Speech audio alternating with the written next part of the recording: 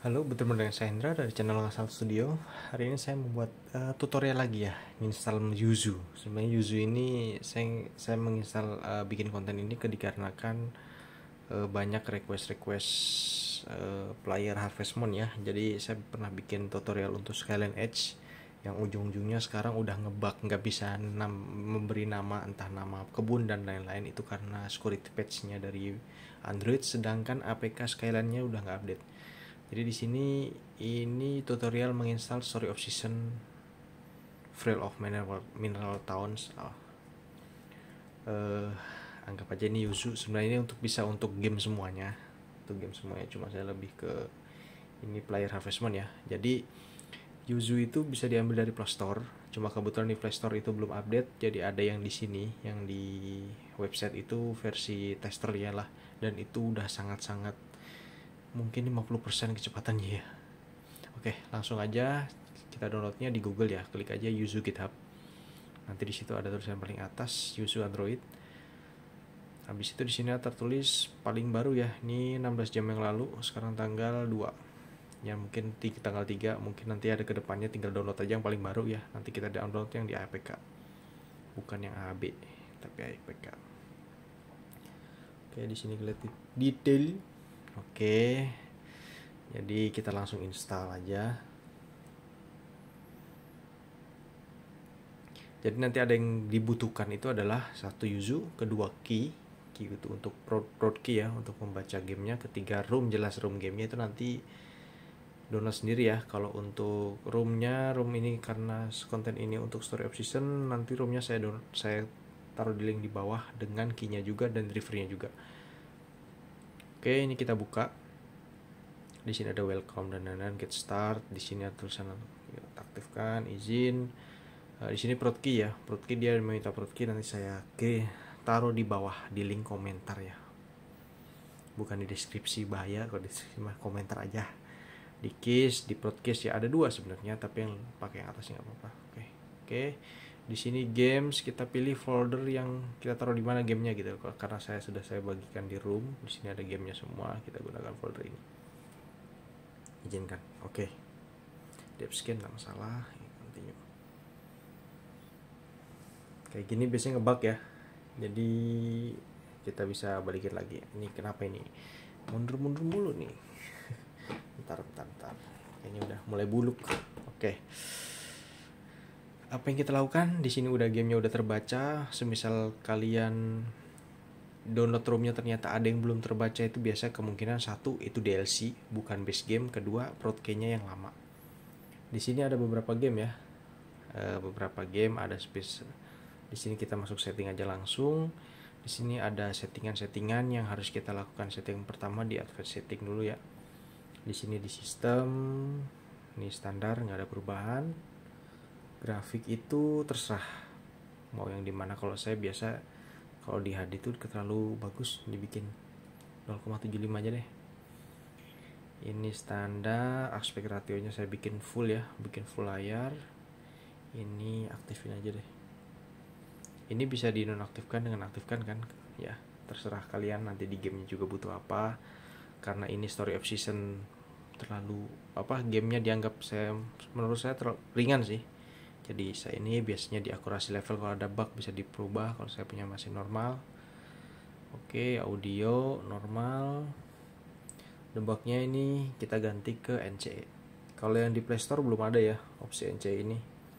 Fast memory saya matikan aja nggak penting. Kedua adalah kita install GPU drivernya uh, eh, GPU driver tuh macam-macam ya. Ada beberapa game yang memang membutuhkan driver ini driver ini. Ya kalau yang lebih bagus lebih baru lebih bagus sebenarnya.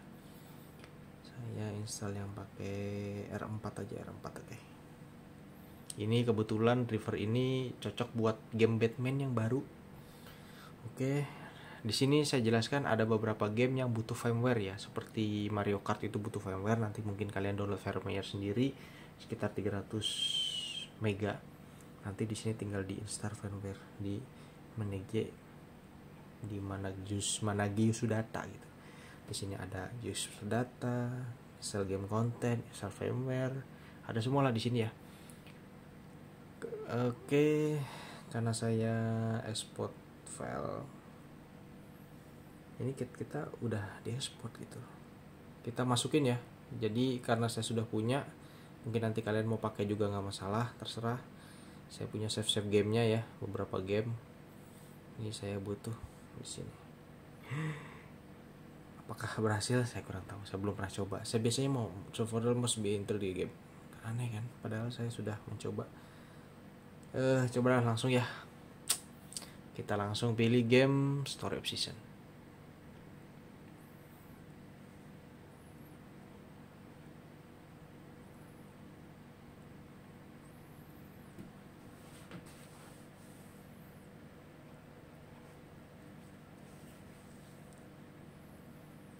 karena saya tadi centang yang Dick Shaders ya jadi dia building dulu. Tadi kalau saya nggak uncek dia langsung play. Kebetulan ini kita masuk di overlay kita aktif counter. Overlay lagi edit adjust default oke. Okay. overlay saya edit dulu ya. Ini kayaknya geser doang gini dong. Oke. Okay. beres. Pemain baru kita coba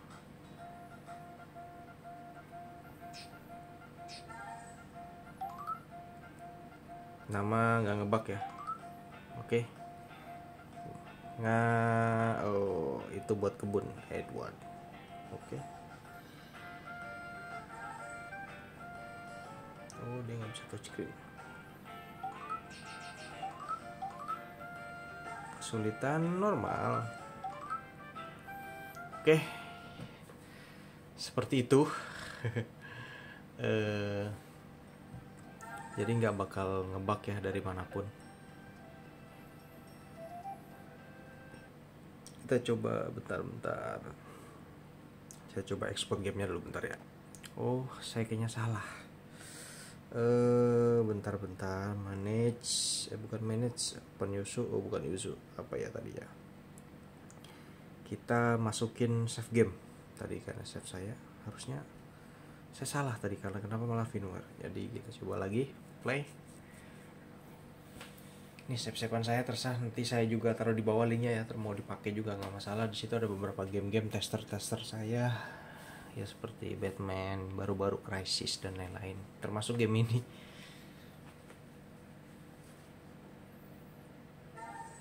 Oke.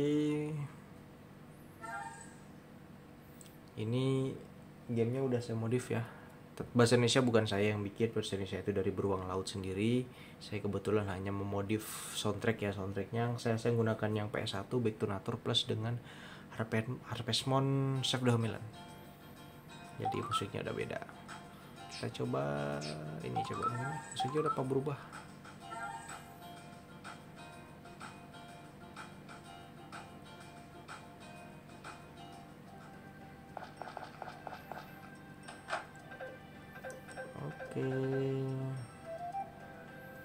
lancar ya.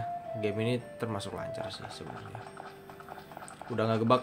Jadi yang pada main di Skyline Edge kebetulan itu kayaknya harus pindah ke Yuzu dulu deh. Sampai Strato muncul. Kurang tahu nanti Strato bagaimana moga lebih bagus dari itu. Ya seperti inilah. Beberapa tester di sini juga ada story obsession ini sebenarnya udah mulai lancar di HP Mi 10 saya ya saya nggak tahu kalau di sini kayaknya kita coba sekalian ya. Panjang-panjang udah ini video. Sini pun nggak usah bikin trik ngebak-ngebak fix supaya kita bisa masuk ke dalam. Di sini santai gitu gamnya udah bisa masuk ke dalam dengan normal gitu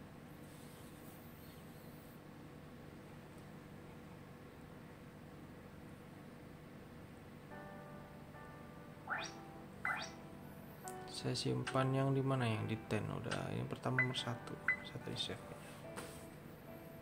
Kalau yang di Mi 10 saya ban itu sih lancar sih ini mungkin karena RAM-nya kurang gede ya. 6 GB soalnya RAM-nya. Tapi cukupan lah untuk bisa bermain karena di Nintendo Switch-nya juga ini termasuk agak berat juga. Kayak nyandet-nyandet gimana tapi FPS normal sih. Ini mungkin lagi ngerender ya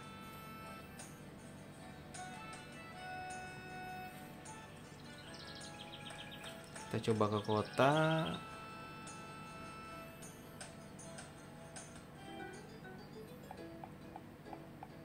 Lumayan sih 40 fps 646 51 52 cukupan. Dung dung dung dung dung. Cuma ini kalau kayak ada ngegresel geser gitu, biasanya dia ngeluat shader change shader cace atau nggak tahu lah bahasanya yang penting intinya inilah. Oke, dua game ini saya buat ngetes ya. Sebenarnya masih ada beberapa, ada uh, untuk video selanjutnya mungkin saya akan mencoba bikin Batman yang terbaru, Batman ini ya, terbaru sama Batman yang Arkham City. Oke, terima kasih, bye.